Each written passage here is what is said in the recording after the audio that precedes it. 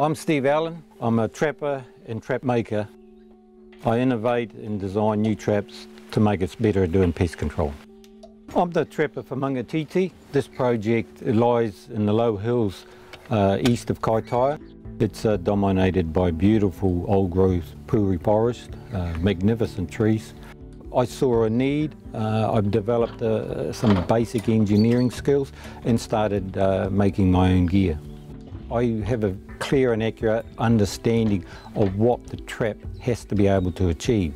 The innovation part is to make us more efficient, more humane, and that's a big, big part of what we do, is simply to be more humane than what trapping used to be. With the, the correct tools, techniques, and especially training, we can get a great result with the community and protecting our native wildlife.